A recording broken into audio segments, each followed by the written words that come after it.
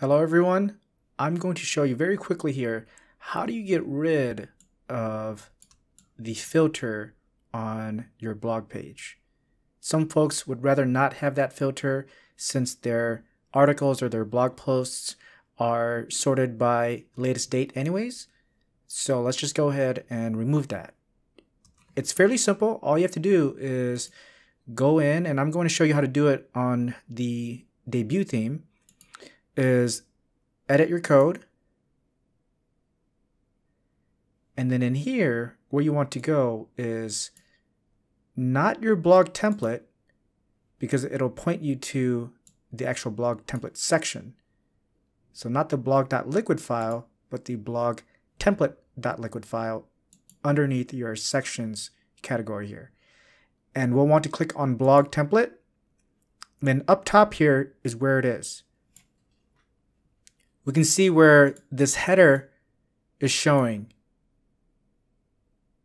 And if we delete this if statement, so starting on line 6 all the way down to line 19, if we delete this right here and just remove it and save, refresh, now it's gone. You can also remove the blog post or the blog title if you'd like. Right here, the page title we say it, or we call it. If you want to do that, you can actually just remove this entire thing.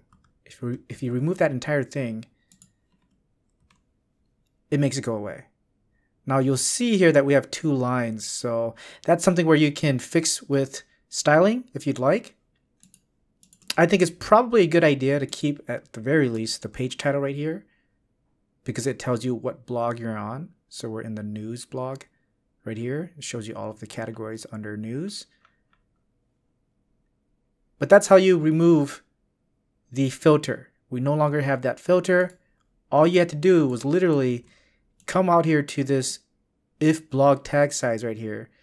Go all the way down to where this where it ends, this entire if block, and just remove it. So you remove it all again, delete, save your file,